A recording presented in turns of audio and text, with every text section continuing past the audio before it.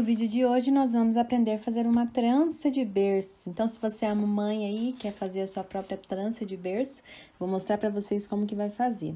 Comprei uma malha, tá? Eu não entendo muito bem sobre isso, mas eu consegui fazer para minha irmã.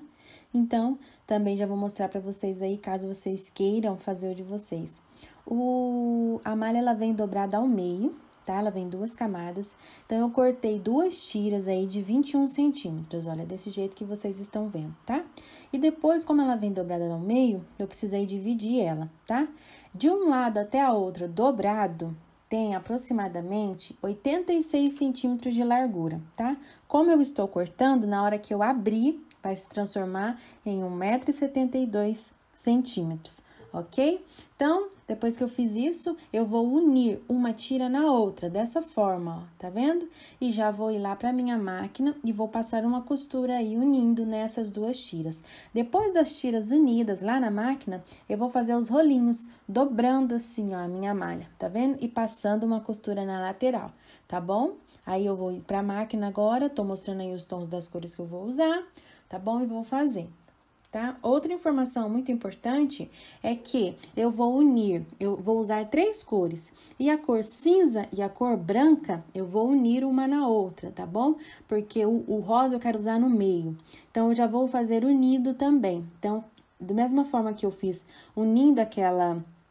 É, uma ponta na outra, eu vou unir o branco também no cinza, né? Então, eu vou usar duas tiras do cinza, duas tiras do branco e duas tiras do rosa, tá bom? Eu só uni o branco e o cinza, tá bom? O rosa eu fiz separado. Daí vocês vão acompanhando aí no vídeo e vão perceber como que foi feito certinho. E caso surgir algumas dúvidas, é só você deixar aí nos comentários. Lembrando que essas medidas é de berço padrão, tá bom? Nós vamos usar no total 3 metros e 44 centímetros de malha, de tiras de malha, tá bom? Outra informação, é duas cores precisam ser embutidas já direto tá? Já tem que ser costurada direto. Então, eu também já vou unir aqui na ponta, ó, tá? Assim, ó. Já vou vir, já vou unir o branco aqui, ó. Coloco pontinha com pontinha, assim, e vou lá costurar. Por quê? Porque daí já fica, fica mais fácil de encontrar o meio da trança já fica mais fácil de encontrar o meio da trança já fica embutido ali duas cores, tá? Bom, se você for comprar a malha só para fazer esse trançado, então você vai pedir é, 42 centímetros de malha para cada tom que você for usar. Aqui no exemplo do vídeo são três cores, então eu comprei 42 centímetros da malha rosa, da malha branca e da malha cinza, certo? Aí, depois de unido aqui, ó, eu só volto fechando. Eu não medi corretamente o tanto de enchimento que foi usado, mas eu acredito que usamos ali até uns 3 quilos de enchimento, tá? Porque ele ficou bem pesadinho, então eu acredito que foi uns 3 quilos aí de enchimento, tá bom? Se você quiser, você quiser usar menos, você pode fazer hum, é, mais, é, mais é, menos largo, né? Pode fazer com 15 centímetros as tranças. É, mas eu gostei, eu gosto com 21, ele ocupa um tanto legal e não deixa o bebê tão solto dentro do berço, certo? Bom, por algum motivo, a etapa onde eu desvirava toda essa tira se perdeu aqui no vídeo, tá bom? Então, o que que eu fiz? Desvirei e eu vou mostrar daqui a pouquinho pra vocês como que eu fiz pra desvirar toda essa tira, né? Porque é uma tira muito grande, como que eu usei? Eu usei uma pinça e daqui a pouquinho, ali na frente, eu vou mostrar pra vocês como que eu fiz pra desvirar, tá? Mas aí, o meu tecido, nessa etapa aí, o meu tecido, a minha malha já tá desviradinha, certo? Eu já desvirei. Agora, o que, que nós vamos precisar? De um cabo de vassoura. Eu tirei de um cabo de vassoura lá que eu tinha. Vassoura nova, essa daqui. É, mas pode ser qualquer, qualquer cabo que tiver, ah. tá, gente? Mas aí não vai interferir, não. E um pedaço de cano Como de 50 milímetros. Aí, ó, essa malha que a gente pegou, é, a gente cortou 21 centímetros, né? Dobramos, depois que dobramos e costuramos, ficou com 9, 8 centímetros de diâmetro, mais ou menos, tá? Depende muito aí da sua costura. E aí, esse cano que nós pegamos, ó, é de 50, né?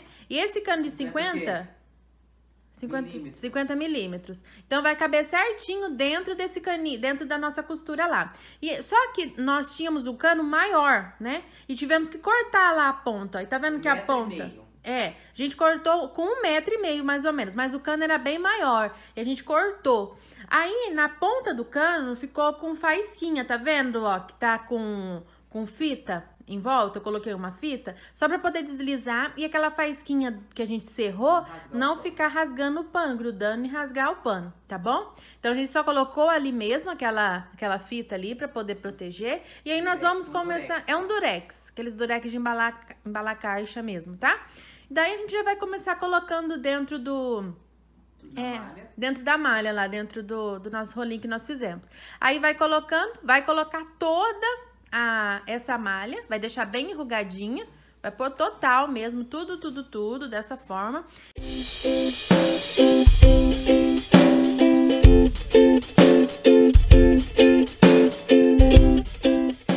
Aí naquela ponta ali, eu vou pegar uma linha agora e vou fazer um fuxico, tá? Só pra poder já prender. Você pode já fazer a costura na máquina, tá bom? Eu vou fazer um fuxiquinho só pra poder finalizar ali e ficar certo. Eu já tenho um aqui, ó. Que é o rosa cheio. Ó, que é o rosinha cheio. Eu só vou fechar a pontinha ali, ó, tá? Com fuxiquinho, tá bom? E vou encher, tá? O rosa eu faço separado, certo? Já o cinza, mostra aí, Es, larga um pouquinho. Já o cinza Já e o cinza e o branco eu já costurei junto pra poder ser um meio ali, tá bom? Depois eu mostro pra vocês como que vai ficar essa emenda. E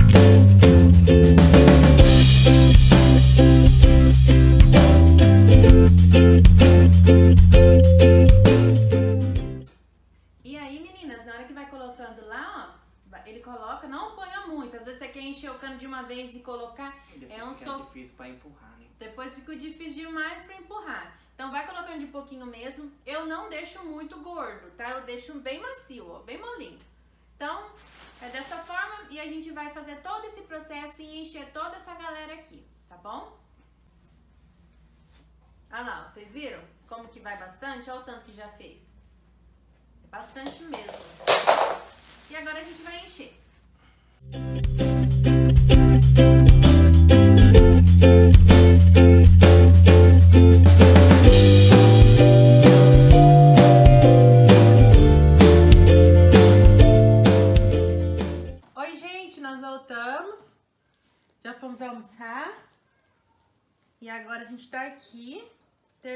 Já terminamos a primeira etapa. Estamos na segunda. Eu tô usando essa tesoura, ó, pra colocar, porque na mão tem essa parte aqui do cano que machuca o dedo da gente. Então, se você estiver machucando o seu aí, pega uma tesoura e manda ver, que ajuda bastante, ó. Você abre, prende e leva lá dentro e tira. Abre, prende, Tá leva lá dentro e tira. Empurra. Peraí que eu já vou empurrar. Então, é ótimo com a tesoura. Eu gosto bastante de encher tudo de enchimento com a tesoura.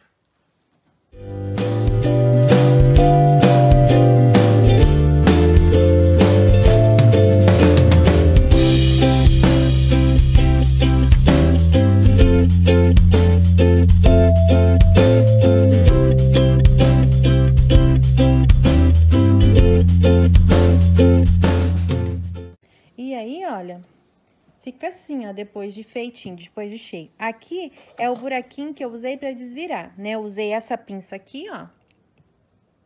Tá vendo? Aí eu coloquei de assim, deixa eu mostrar pra vocês. Peraí, que escapou. De assim, ó, e fui entrando lá dentro e desvirando, entenderam? Então, agora eu vou fechar um pouquinho pra baixo daquele furinho que eu fiz. Só um pouquinho mesmo, ó. E não, não tem problema ficar ser feito dessa forma não, que vai ficar tudo tampado. Como que eu disse, eu não tô fazendo pra venda, esse daqui é pra uso da minha irmã, tá? Mas se você tiver um acabamento melhor pra fazer aí, tranquilo. Aí eu vou fazer aqui, ó, o pontinho alinhavo. Por volta...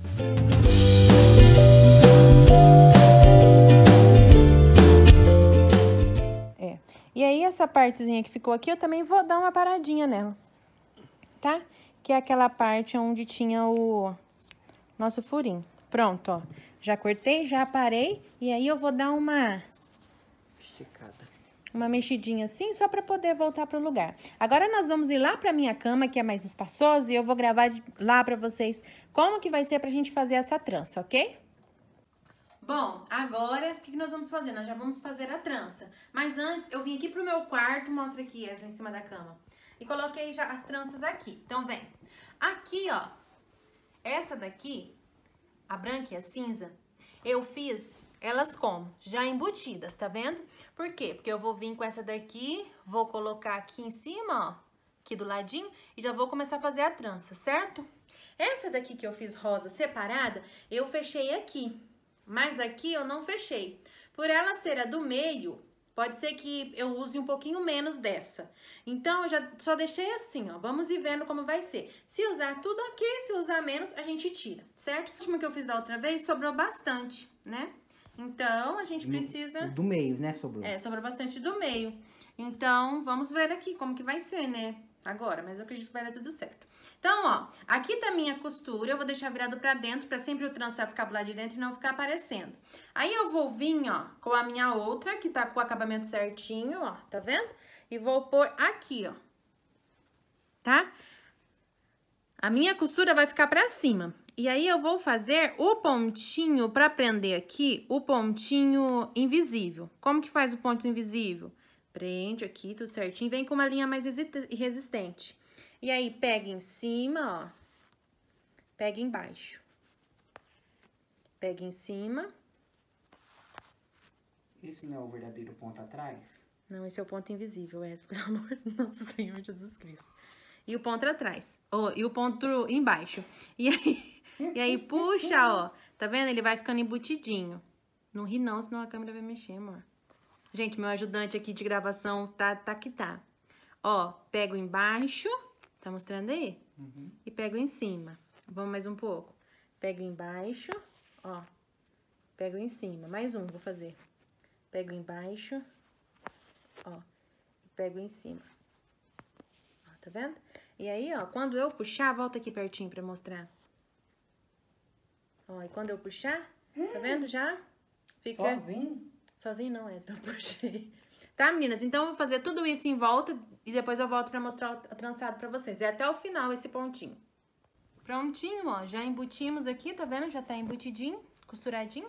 E agora nós vamos começar o trançado. O trançado dá um pouquinho mais de trabalho, então a gente vai pôr no tripé aqui. Agora nós vamos fazer o trançado, tá? Então nós vamos pôr no tripé e o Wes vai me ajudando aqui, porque ele é bem grande. Então, vai dando um pouquinho de trabalho, certo? Vamos lá.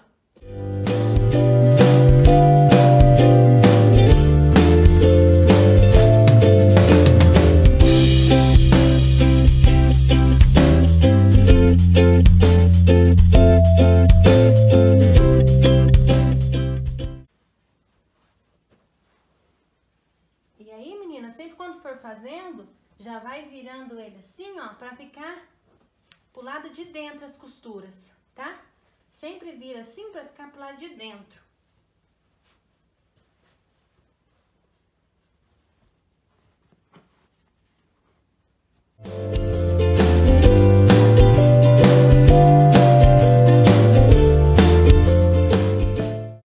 Pronto, meninas, olha. Todo já trançadinho. E aí, lembra que eu falei que sobrou em um? Ó, realmente sobrou bastante. Sobrou do cinza. Não foi o rosa, mas foi o cinza, certo? Como é minha irmã, né? Como eu disse, não é pra venda nem nada.